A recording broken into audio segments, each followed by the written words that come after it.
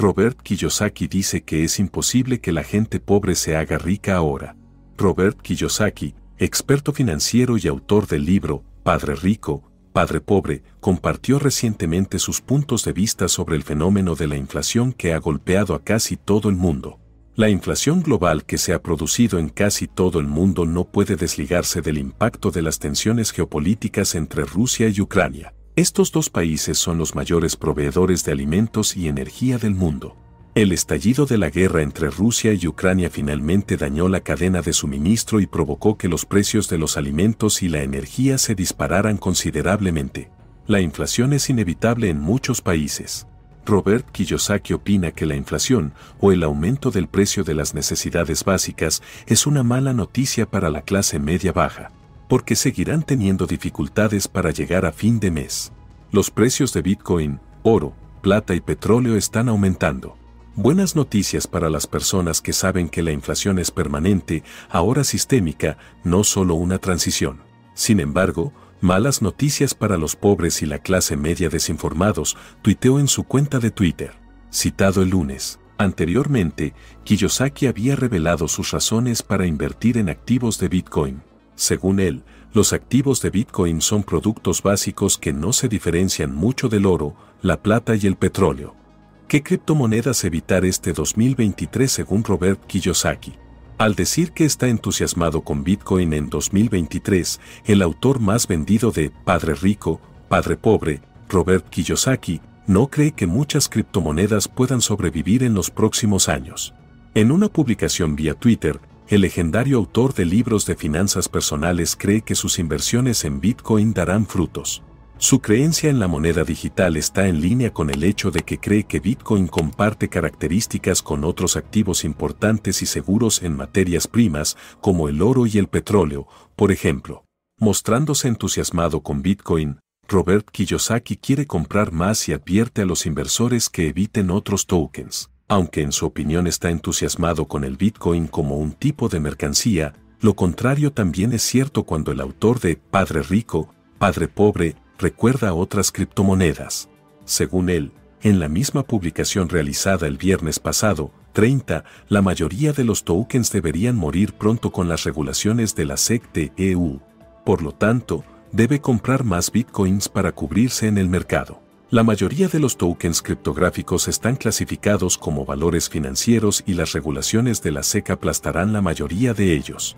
Compraré más BTC.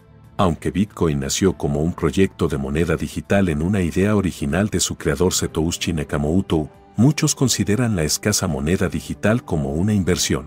De todos modos, además de Bitcoin, Robert también está monitoreando otros dos activos para el próximo año. Soy inversor en oro desde 1972, cuando luchaba en la guerra de Vietnam. El jueves pasado, 29, Robert recordó su pasado como inversionista en activos Hey.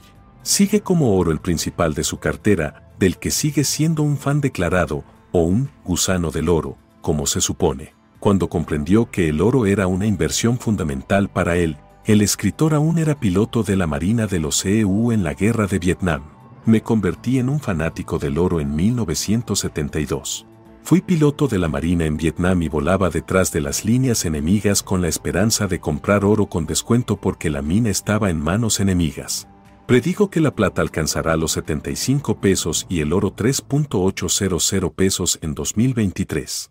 Es decir, los últimos consejos para 2022 del legendario inversionista siguen como una advertencia para que los inversionistas busquen alternativas a las monedas fiduciarias. Un crítico acérrimo de las monedas emitidas por los bancos centrales, Kiyosaki se declaró entusiasmado con el oro, la plata y el Bitcoin para el próximo año. Bueno, personalmente, ¿qué opino acerca de Robert Kiyosaki? Puede ser una persona que opina muy catastrofistamente del mercado de valores y de la economía casi siempre. Siempre tiene algo malo que decir. Su libro Padre Rico, Padre Pobre es uno de los más famosos y de hecho es uno por los cuales yo me abrí un canal de YouTube. Le tengo un respeto monumental a Robert Kiyosaki, pero recuerda que a veces se nos va un poco la lengua, se nos va un poco la situación de las manos y hablamos simplemente mal de la economía. El tema del Bitcoin, el oro, la plata, el cual apoya Robert Kiyosaki es por algo. Recuerda que el oro y la plata, ahora lo vamos a revisar, está en máximos históricos y el Bitcoin ha caído bastante. Entonces de 2, de 3, ha acertado muy bien Robert Kiyosaki. Recomiendo mucho su libro para que lo puedan tener, lo puedan leer, ya sea que te guste la bolsa o no puede ser un tema de finanzas personales y te puede servir mucho para tu vida y tu día a día. Así que vayan a comprarlo, vayan a comprarlo en Amazon, vayan a comprarlo si gustan de su tienda local, que es lo mejor que pueden hacer porque tener un libro ya se está perdiendo mucho eso, pero tener ese libro, ese olor a nuevo, a mí personalmente me encanta. ¿sí? Yo quiero revisar con ustedes el tema del Bitcoin, la plata y el oro, cómo está la situación. Veamos. Nos venimos aquí rápidamente, el ETF por ejemplo de la plata es SLV, que no está en máximos históricos, pero sí está a un precio bastante alto, nos hemos recuperado desde aproximadamente 16.5 a 21.68, casi 22.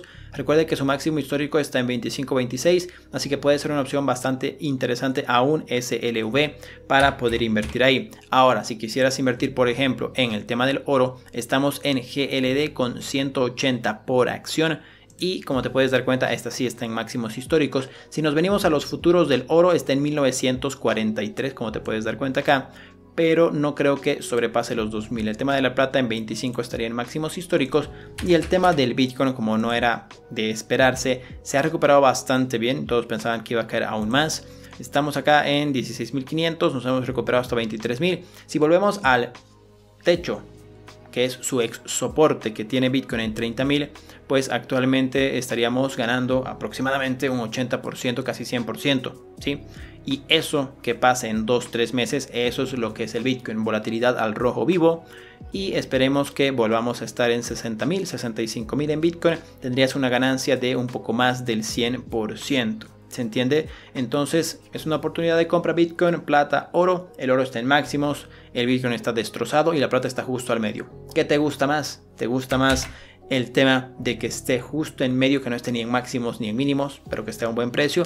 ¿Te gusta más que esté en máximos como el oro o te gusta comprar algo que esté muy castigado como es el Bitcoin? No hay pierde, tienes para todos los gustos. Y recuerden que si quieren aprender a hacer ese tipo de análisis correctamente en las empresas, tenemos nuestro vocabulario de bolsa de valores, curso básico y curso intermedio de bolsa de valores para que aprendan a invertir en bolsa de manera adecuada paso a paso. Son listas de reproducción que tengo en el canal totalmente gratuitas, así que vayan a echarles un vistazo. Y si no te interesa invertir en bolsa y simplemente te interesa la economía, también tenemos curso de finanzas personales y tenemos también audiolibros. Así que no hay pierde en el canal. Aprovecha para suscribirte si es que estos temas te interesan y también a dejar tu bonito like si este video te ha parecido de valor. Nos vemos mañana con un nuevo video. No se olviden también suscribirse a mi canal de en vivos donde a la apertura de bolsa de valores y al cierre de bolsa de valores, es decir, 10 y media hora de Nueva York y 5 de la tarde hora de Nueva York también, estamos en mi canal de en vivos. El enlace lo voy a dejar en la descripción para que me hagan sus consultas y revisar actualidad financiera, las noticias más importantes del día y también oportunidades en bolsa. Sí, nos vemos ahí y nos vemos mañana aquí con un nuevo video en este canal. Adiós, adiós, adiós.